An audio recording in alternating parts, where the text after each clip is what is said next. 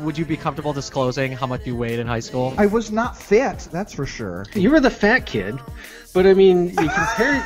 Listen to him. Listen But to I the mean, hate. Uh, you know, we would stop like halfway between each other's legs and just kind of like, that didn't sound right. Like we would Yeah, stop you would. during the other pe- person's legs.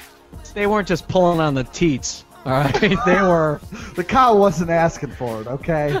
Uh, ladies and gentlemen, famous playwright and screenwriter David MacGregor. Hello. Vino Veritas is the name of the play slash movie. Uh, you've actually got some like pretty big names in the movie, though. Carrie Preston. So she's like, you know, she's on True Blood. She just won an Emmy for The Good Wife. There's a guy named Bernard White who's done a lot of TV, stage work. I don't know how they define sex, but my sexual activity There's is a- vigorous.